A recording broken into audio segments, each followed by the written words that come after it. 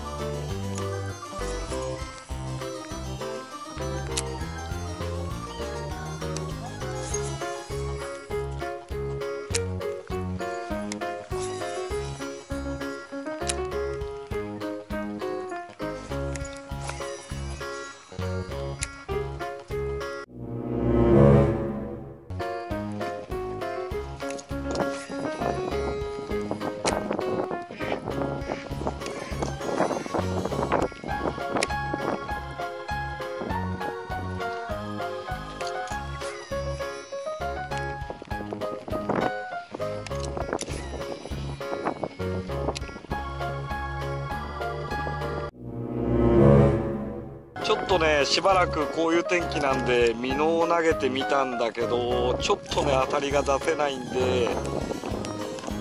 これ。ちょっとディーパーでね水温とかどんなもんかね測ってちょっと下調べっていうかまあまあだいぶもう釣りもしたんだけどなんかねいるはずなんだけど釣れない。ねディーパーでちょっとしたおいでディーパーね。ディーパー接続して、えー、ディーパーアプリ。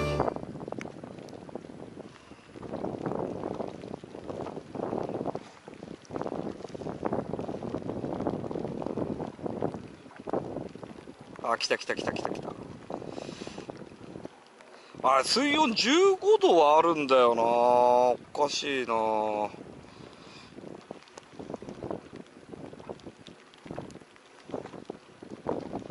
ちょっと詳細モードに変えます。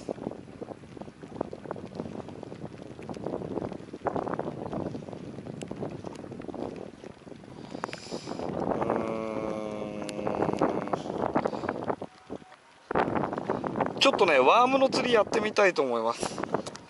ダメだ。あーなんかねよく雑誌とかで見てるようにあのミノとかでガツンと釣りたかったんだけどガツン釣れないんで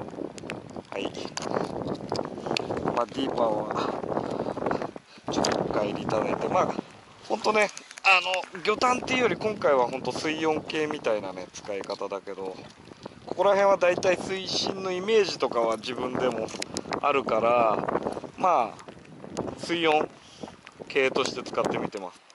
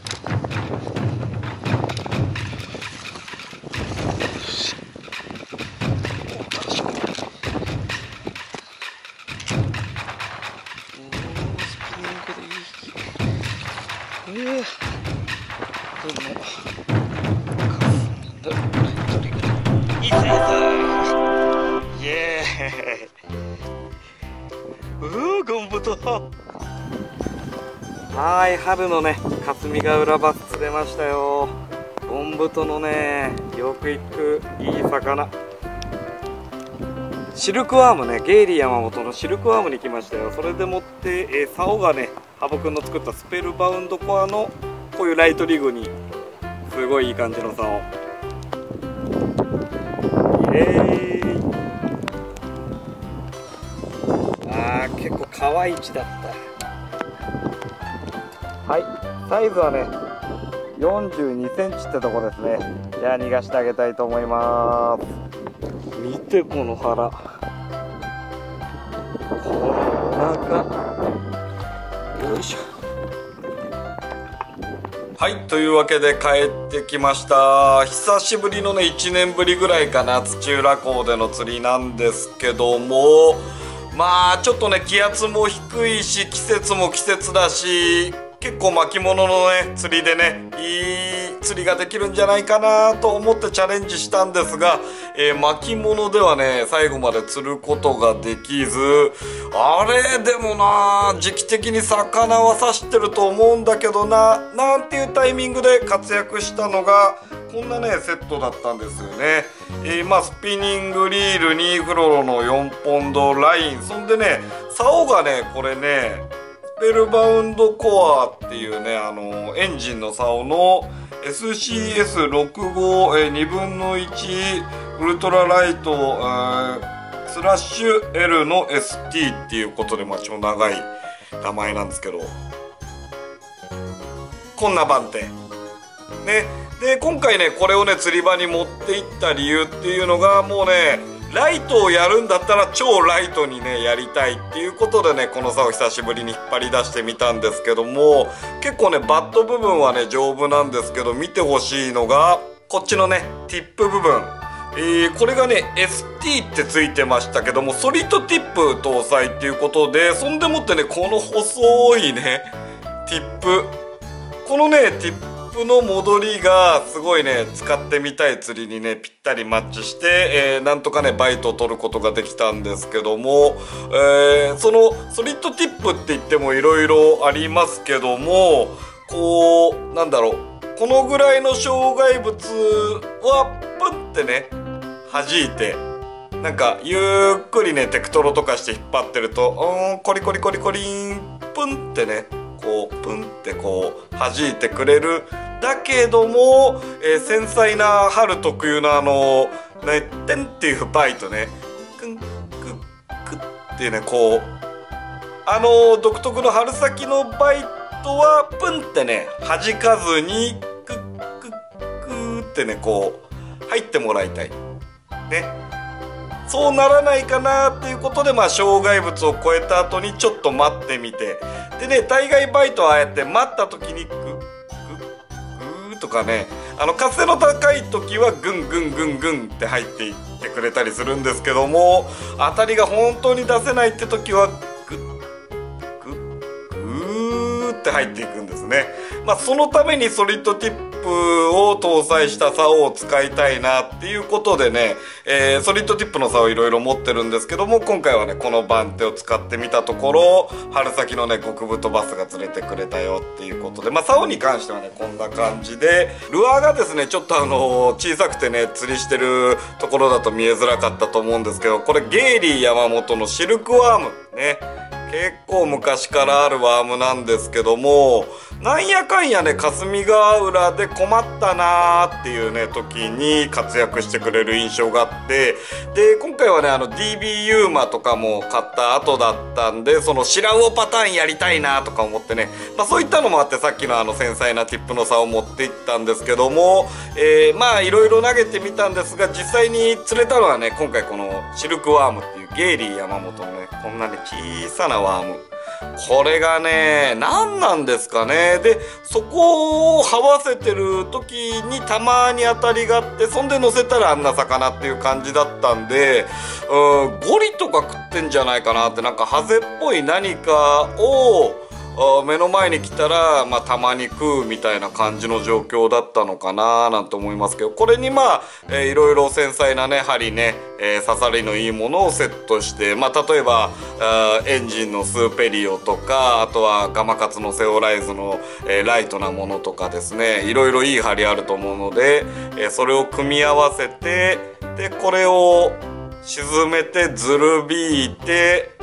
プンってやったらこうちょっと待ってっていうねそういった釣りでね当たりがねたまにグングングンみたいな感じで出てくるそんなね釣り方なんですけども。でスプリットショットリグねあのガン玉をこのちょっと上の辺りにこうかませてでズルズルズルズルズルズルって引っ張っていく、えーね、そんな釣りなんですけども重りの重さはねいろいろ使うんですけどもその時そのポイントでスタックしないギリギリ軽いものっていう感じで選んでいくといいと思います。その障害物の岩の大きさであったりあとはあブッシュの入り方だったりなんかいろいろな要素はあると思うんですけどもこれ以上重くするとあー引っかかりすぎる。うーたまに根がかっちゃう。なんてことがあったらそれより一番ってねちょっと軽めのやつにして今回はねあのー、まあ風はすごい吹いていたんだけども、えー、白魚なんかもね吹き寄せられるぐらい吹いていたんです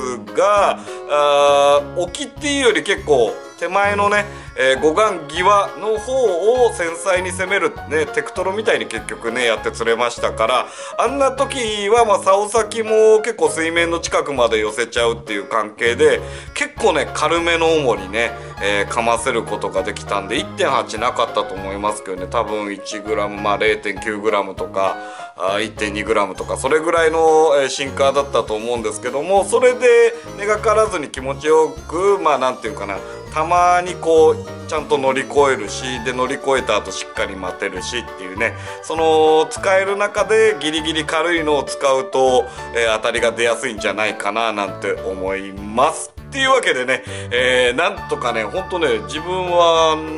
1匹だけですねあの1匹で終わりだったのでいや結構ね、えー、もう寒くて厳しかったんですけどもなんとかねえー、そういう困った時に釣れるワームっていうことでこういうねゲイリー山本のあもうライトに振るんだったらとことんライトにっていう感じでほんと超小型パドルテールっていう感じでこういうワームなので、えー、まあねあの釣り具屋さんで見かけたらね1袋、えー、お守り的に入れておくと、えー、いいことが起こるかもしれません。というわけで本日の釣り子 TV は、えー、霞ヶ浦土浦エリアってきたら、えー、結構腹ぼてのねいいバスが釣れたよってこういった動画でした。はい釣り子 TV でした。